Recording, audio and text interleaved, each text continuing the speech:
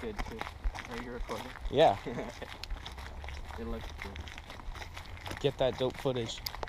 Whenever you're ready. All right, so the rig we're using today is uh, like a Carolina rig, and it's pretty common for trout.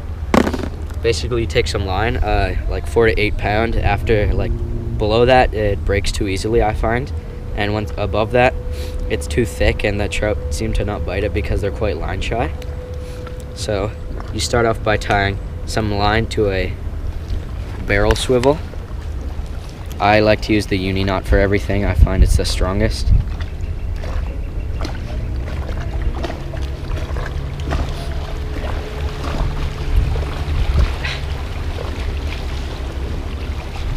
and then cinch that up.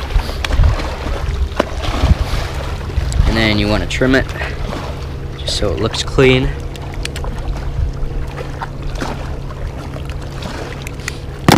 And to that, we measure about, I like four, three to four feet a line, and I tie that to a octopus hook. Uh, this is, I think, a size 8. Nice and small so the trout don't bite it, or don't bite it and feel that it's uh, something's off, and uh, spit it out.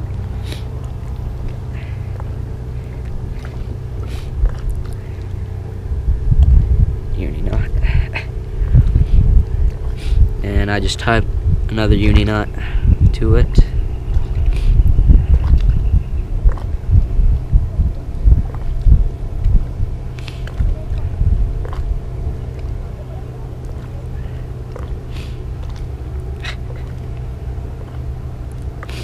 And then it's really important to trim this one because if they feel the end of the line, then the chances are they'll spit it out uh, and they might feel it while they're swimming past. We uh, you add a floating bait. They'll say on the package whether it's floating or not.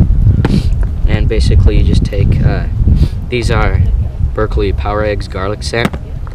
Uh, you'll find what color works best for your lake. I like oranges and yellows. Uh, sometimes yellow is just called chartreuse. And then you rig those on. And basically, that's the rig. Till we add a few uh, egg sinkers. I like using uh, barrel sinkers or uh, bullet sinkers because, uh, like you'd use on Texas rig, because I find that it kind of ignores the weeds more because uh, they're like slimmer. So these are two quarter ounces separated by a bead. Uh, so it's a half ounce weight. And I use a snap swivel on the end of that so I can change leaders as I go. Maybe I'll make like a five foot leader and a three foot leader. And if one of them's not working, I'll just swap one out for another. That on.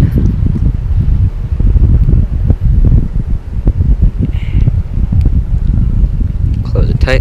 And before you cast, always make sure that the uh, uh, snap swivel is closed. Uh, sometimes it comes undone by itself. And now I've actually lost a fish from not checking it because it was undone.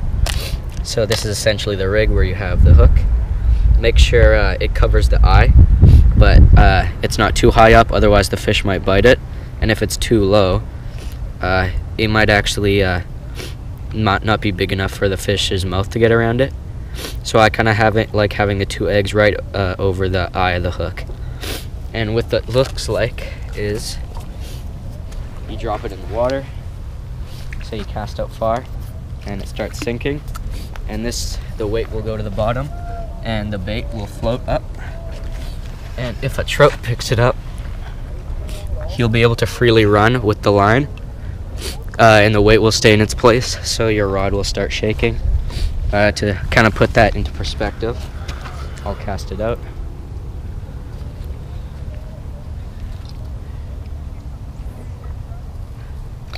We'll cut that. We can cut whatever.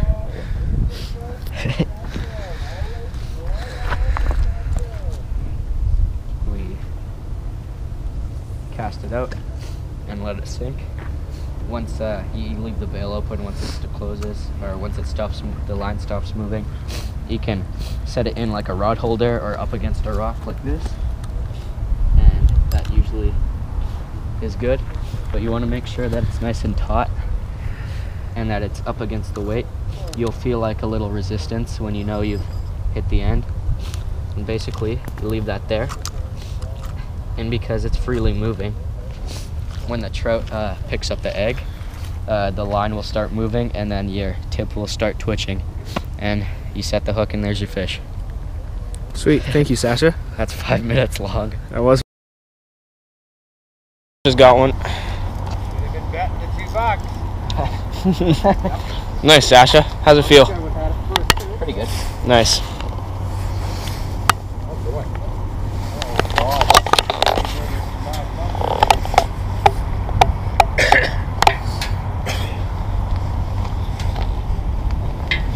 Just gonna bring it over to shore?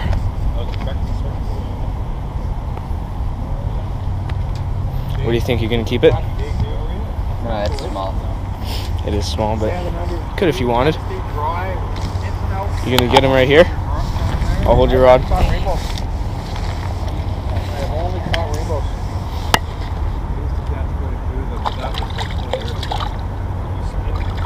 Still has lots of fight. He's kind of gut hooked. Really? I've got some needle nose. Oh, If you need 'em. yeah, Want me to get him out? sure. All right.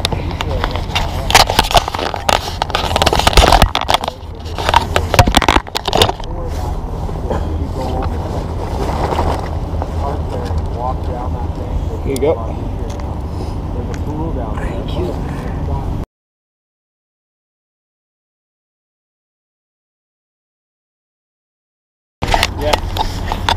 Perfect catch. big Oh, nice one. Sweet. Very nice. Awesome. All soon.